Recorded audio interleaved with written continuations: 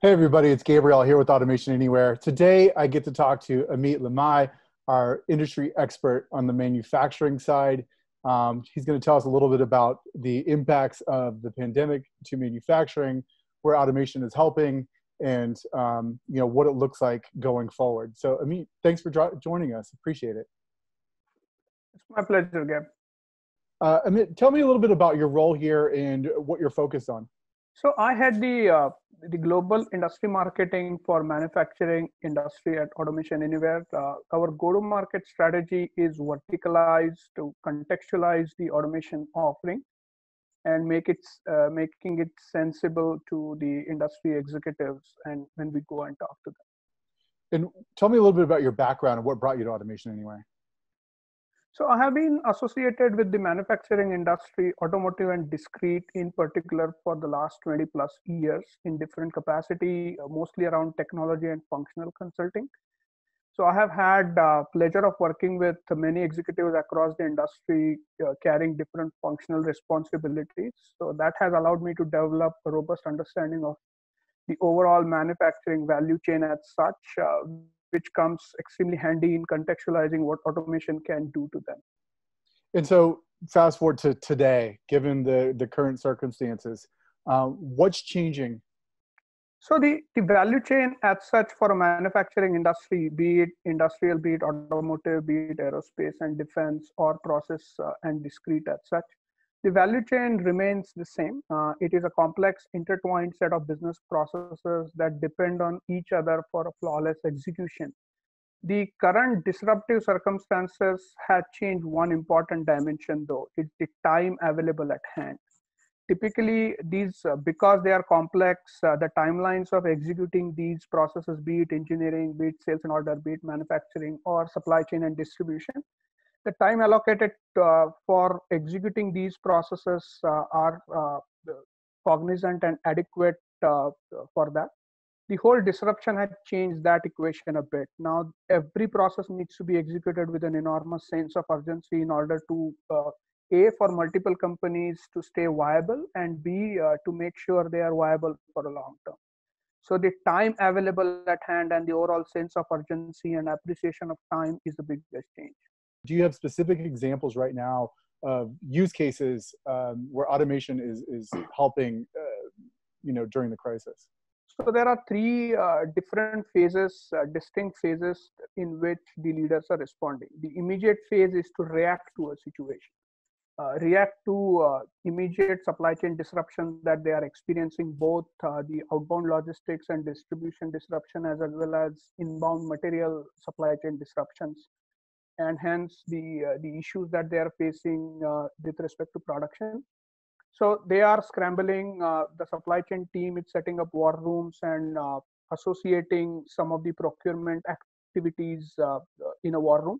Their automation can help by significantly streamlining the program management of the overall program and procurement and supplier onboarding the the midterm response uh, what i call is the responding to a situation where they look a little deeper at the demand destruction that has happened and how the demands have shifted uh, from product to product and market to market. One example i can give is because of all the disruption and work from home if you are a beer manufacturer and a distributor the demand for kegs that you supply to uh, to different bars and uh, caverns and taverns will be significantly reduced to close to zero. At the same time, uh, the beer that you supply to retail uh, is going to significantly high because people are going there buying and uh, drinking those beer at home. So at, for one product line and one product configuration, the demand might uh, completely destruct, but for other, it might skyrocket. So you have to adapt to the prevailing demand and how it's going to change and sort of go ahead of it uh, instead of reacting. So that's the near term uh, respond strategy. There we can uh, help through automation by automating some of the demand planning and sales forecasting activities that uh, typical companies do and get them ready uh, for the subsequent downstream value chain activity. The third and most important strategic activity the manufacturing companies are doing is resetting their overall go-to-market strategy now be it product product mix diversify enough so even if a disruption like this comes again they are not as shaken to the core as they are today. Uh, do a reset on uh, geographical strategy, both from uh, selling their products as well as from where they are sourcing their materials, the inbound supply chain as well. And their uh, automation can significantly help by outsourcing the typical operations activities to bots so that people with intimate knowledge of the process can uh, significantly drive their reset strategy. What do you see going forward um, and what would you recommend uh, for main, those specifically in manufacturing uh, so that this isn't just a systematic uh, solution or a one you know a point in time solution but a go forward strategy and execution. Important thing that they're going to uh, need in the uh, overall long term strategic planning and making themselves viable and build some sort of resiliency in their operations is the availability of accurate data at their fingertips. Be it strategic planning be it sales planning be it supply chain planning or even execution availability of data is, is the biggest hurdle for any manufacturing company. And uh, one of the reasons uh, that is there is because most of their process data lives in unstructured documents. They have multiple erp instances multiple legacy technology for uh, obviously legacy reasons because i always say manufacturing is the second oldest industry after agriculture. So there are a lot of legacy reasons behind it so in order to get their hands to accurate data they need to accelerate their digital transformation strategy a and automation needs to be a significant part of that because once you start automating the process two things happen. You liberate the underlying unstructured data and bring that into your system of records and the overall analytics and downstream processing and decision making becomes cohesive and easy and second by automating the operations again uh, your cream cream de la cream of your organization becomes available for running strategic initiatives than moving a piece from one place to the other. So uh, the overall acceleration of digital transformation initiatives under industry dot industry 4.0 as the uh, the manufacturing industry calls it should get accelerated and automation should start featuring more prominently in their overall digital transformation strategy. So those two things will clearly happen. Are there any um, current use cases or customers that you're working with right now, or even prospects that have come to us and say we need help with this? Anything that stands out that um, you know exemplifies uh, sort of the what we're talking about here?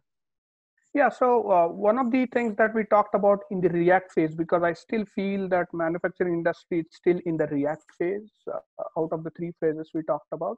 And the way they react is they set up these cross-functional war rooms. And one of the important feature of any cross-functional war room in the manufacturing companies, they need to take a look at real-time data almost on a daily basis and in some cases on an hourly basis especially how their supply chain is doing how their production is coming along how their distribution is.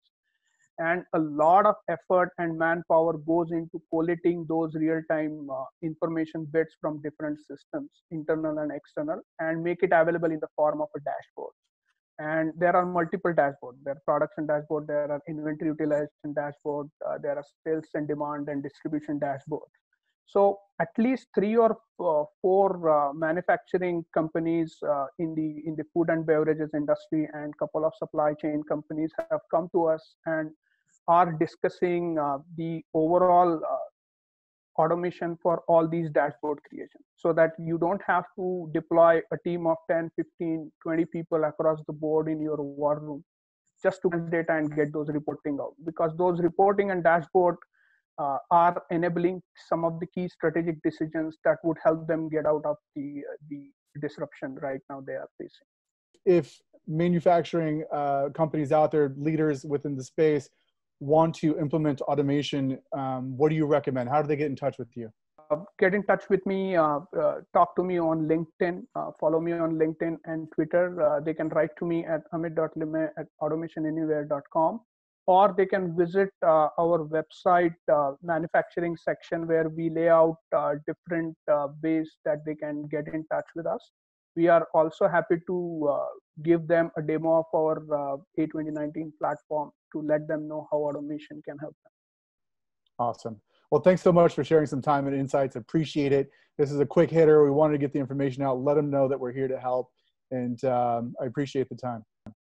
Absolutely. Always